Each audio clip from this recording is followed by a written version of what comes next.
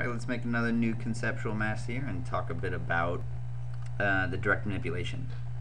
Uh, and we'll do it in something a little simpler this time rather than the kind of funky shapes we've been doing. So I'll come in and just draw a rectangle.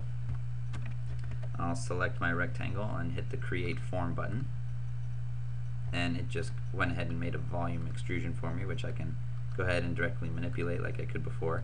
I can directly manipulate edges and adjust that shape. We can also do it dimensionally, same way we could, so the kind of we could before the interface interface remains the same. Uh, we could drag that in and adjust that. Now you can see our manipulator adjusted to the faces. If I hit spacebar, it adjusts. Um, so quickly model that. You can select faces and draw right on them. So if I wanted to draw on here, uh, I got Oh, that's a doubly curved surface. It might be. Let's see.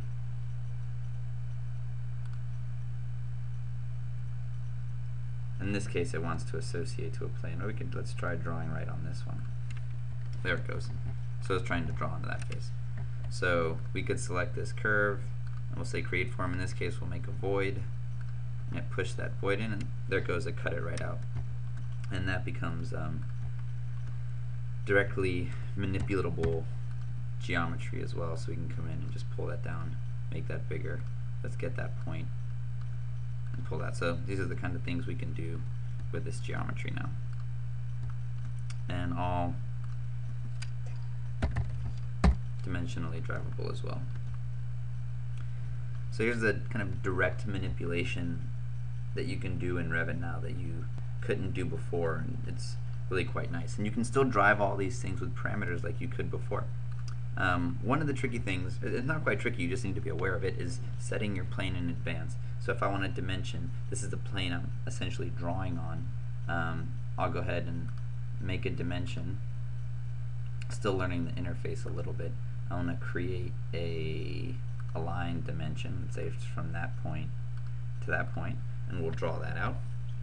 So that point's been set and we can actually select that. Our dimension becomes active like it did before and drive it. But the really cool thing is we can start to make parameters for these things. So let's add a parameter and let's just call it uh, point elevation for now.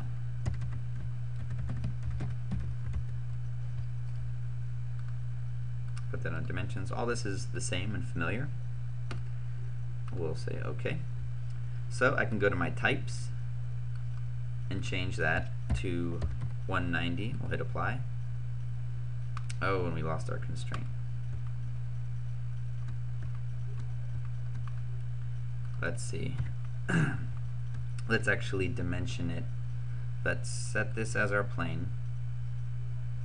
Let's go to create a line. Let's dimension from the reference plane to the point we're still going to run into the same hierarchical problems we were having before with Revit. So we have to be very deliberate, deliberate about what's driving what, and we want to make sure that the reference plane is the kind of pinned object. So let's set the label of point elevation. Let's try that again. 190, hit apply, and there it goes. Now it works. It just didn't know which point to push. Um, so, and who's ever watched my videos before knows this is how we do these things. I I'll let it break and we'll just go through. So let's hit OK. So the important thing to point out, and one of the things that I think is particularly cool with this new release is before we could only do it by hitting this type button. Now I can select this point, drive it down, and my parameter updated. That was, at least for me, a major pain in workflow before, and it's a non-issue anymore. You can interact with parameters either through the GUI or through the type parameters. So that's direct manipulation and just a little bit about parameter making. If there's any questions, feel free to post them.